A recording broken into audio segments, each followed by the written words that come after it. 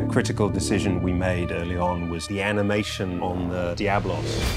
We wanted to show you some of the shots so you can see what you saw in Tokyo and then what we've changed. Looks very, very close to the game. Great. so we have a comparison, the Rathalos from the movie and the Rathalos from the game.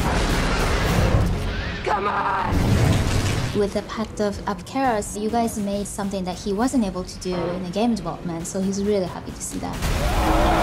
And you incorporated so many things that we discussed, so he's really thankful, really impressed.